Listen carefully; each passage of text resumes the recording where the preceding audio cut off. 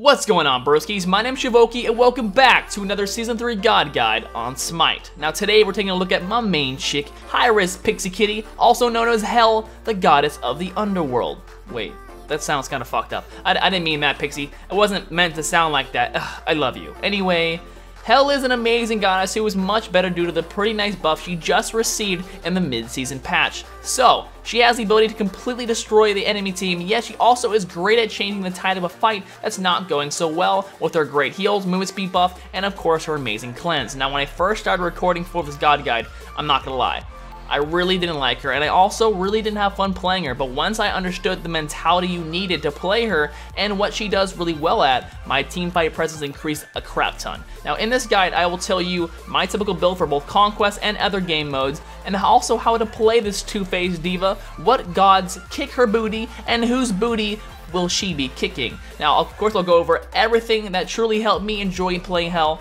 and overall, having fun is really what's most important, so I'll make sure you guys have fun playing her. Now be sure to leave your own tips, tricks, and build below in the comments down below, and let me know what god needs a guide next. First, let's take a look at her passive and abilities. Now, Hel's passive is called Stance Attunement. When Hel's in a stance, she gradually attunes the strengths of that stance, gaining up to 20% damage in the Dark stance and 20% healing in the Light stance. It's a buff ability, and the time it takes to fully charge the stance is 3 seconds, which is very important, guys. It just received a buff. It was 5. Way too long and overall a pain in the ass. So now that it's 3 seconds, guys, you can still change stances a lot faster, but also still make sure you're holding on to the stance you need to be in. Now, if you need to pop over from Dark stance to Light stance really quick there to pop a heal, you won't lose lose a 20% damage because it takes a couple seconds until the, uh, the, the bar starts going down. So very important, guys. I love this passive. Great damage boost and also a great healing boost for Hel.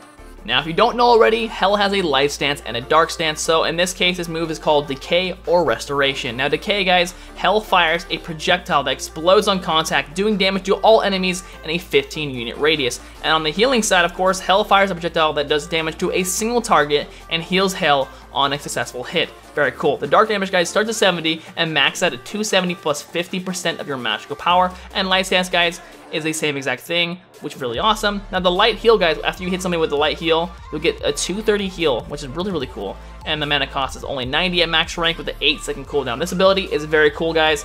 I love the Decay form. I'm not the biggest fan of the healing one, but then again, the heal is still very nice. But in Decay, when you throw the one out there and it does nice AoE damage to the whole team, you, you hit the whole team for like, you know, 300, 400 mid middle, middle late game. Very good damage, and overall the heal really saves your ass pretty often, honestly, and it still did pretty good damage. So the damage is the same on both of them, but you have to keep in mind though, you have the passive which will increase the damage on Decay, if you are in full form. Now in the comments down below, I want you all who are a rank 10 or a Hel main to let me know if you agree with me. A good Hel is determined how they use Hinder and Cleanse. In my opinion, that is the number one thing about a good Hel. If they can use Hinder right, if they use Cleanse right at the right times, and the right situations, and completely change the team fight altogether. Now Hinder, guys, Hel debuffs all enemies at her ground target, reducing their magical protection and slowing them for a short time, which is amazing, but here's Cleanse. Hel buffs all allies at her ground target, removing all crowd control abilities instantly and protecting them from future ones for a short time.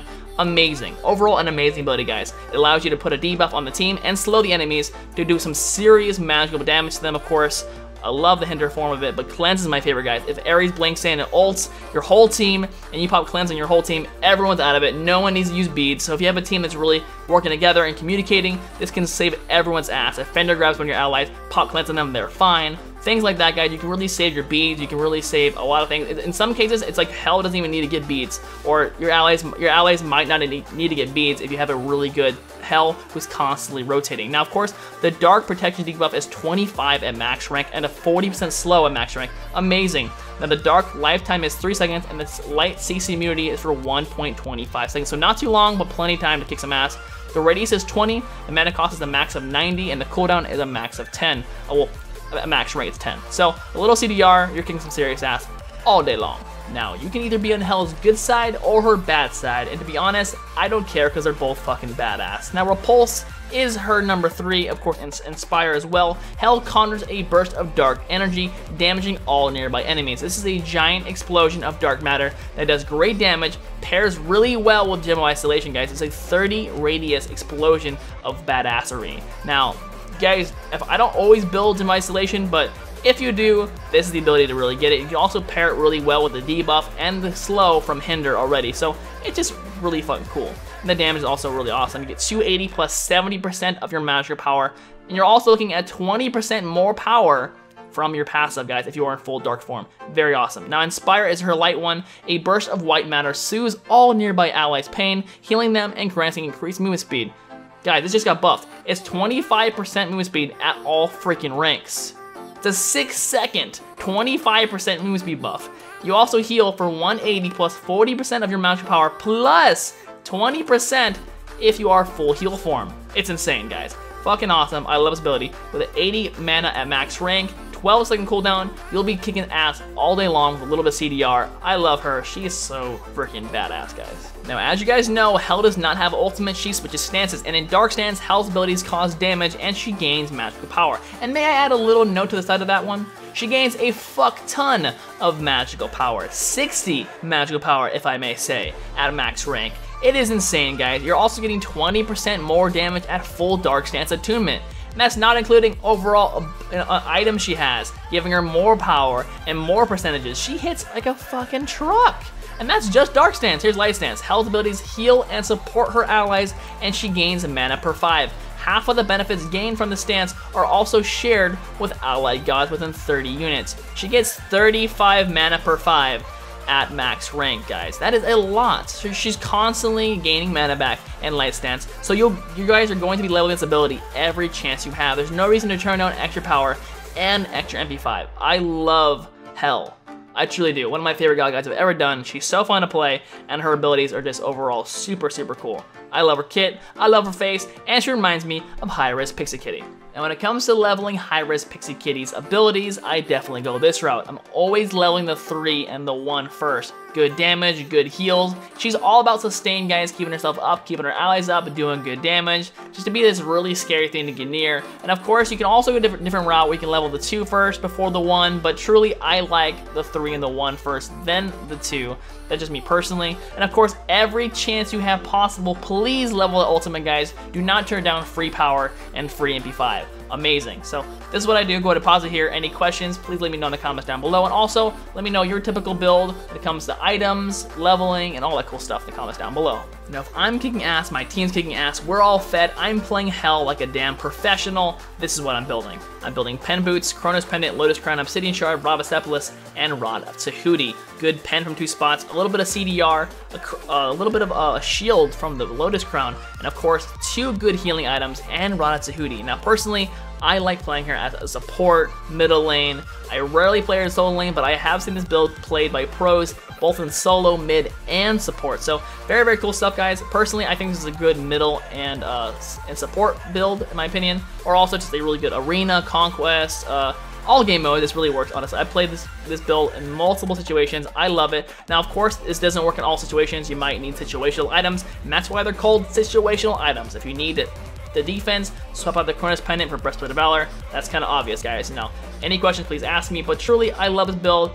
I just does, does really well for me. I got a lot of healing, the good shield, and honestly, this build allows her to be this complete badass in team fights. Goes in there, she constantly has a shield up, which can save your allies in so many ways, and the healing is super crazy, and this also kind of forces the enemy team to build anti-heals, which is also a good thing for you in some cases because if they don't build it, they're fucked. If they do build it, then they're kind of wasting their time going against that. So it basically makes them do something you want them to do, which allows your team to counter that. So really cool stuff. I love this build. Any questions, any comments, concerns, please let me know. But let's check out my other builds really quick here. Now another build I use sometimes, guys, this one right here. I go Pen Boots, Book of Thoth, Breastplate of Valor, Rod of Asclepius, Spear of Desolation, and Rod Tahuti. Personally, I like this build a lot. It's cool because while I'm building stacks, I have the defense uh, building up from Breastplate of Valor, Rod of Asclepius is always so well and so amazing for team fights. It really allows me to heal extra, and overall the power is really nice on it. Spear of Desolation will help me hit way, way harder. Good penetration, and then Rod Tahuti, of course, is just amazing overall. So this is sometimes, this is usually what my build looks like at the end of a game. In most situations, if I'm doing really well and I need to buy situational items, I usually go this route. Also, Celestial Legion helm's also pretty good too, but this is just my other uh, mid build. And here are my situational items. A few of you guys do not understand what situational items really mean, so I'm going to explain real quick. If you don't need situational items, don't build them. If you don't need Gem Isolation, if you don't need Breastplate of the Valor, if you don't need Celestial Legion Helm, don't build it. It's not needed. But if you do need it and you can see a use for it and you're, you're trying to counter something, go ahead and build these items. Now, I swap out Chronos Pendant for Breastplate of the Valor quite often because sometimes she needs the physical defense. Very, very good item. Celestial Legion Helm is good to stop crits, it's good for power, and overall a really good ability. Bulwark of Hope helps you get extra shield if you actually, for some, reason, need the magical the defense. This is a good item to grab because it also gives you the shield. Extra health is also very nice for support slash kind of middle lane character. Gem Isolation is so amazing. I love it, guys. Really good for slows and being a complete bitch with your number three in team fights Of course, extra pen to stop your team, and Warlock Sash if you want to build stacks, but you still need to be a little tanky, this is what I go.